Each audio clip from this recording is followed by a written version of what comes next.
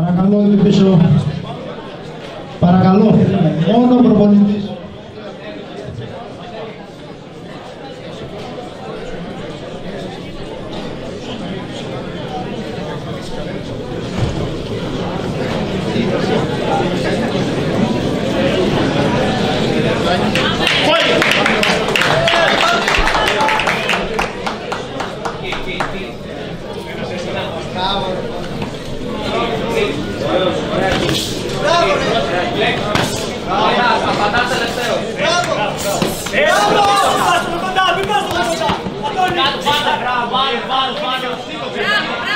Μπράβο, μπράβο,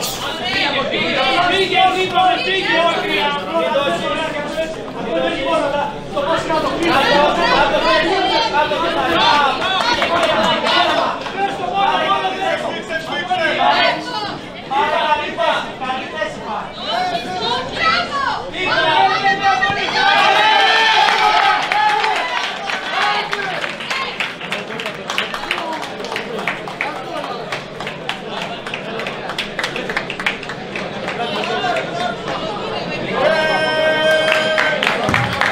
que écouter le Dormia de Nathalie.